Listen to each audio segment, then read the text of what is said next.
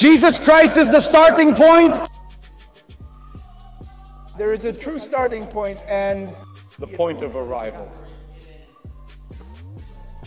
when the gun sounds is the exit point.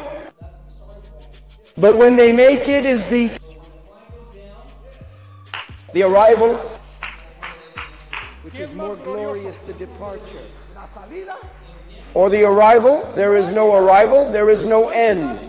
If there is no exit, the departure is as glorious As is the arrival, hallelujah. As is the arrival, hallelujah. Christ is our departure, as is our arrival. And Christ as our reward. Must be our greatest motivation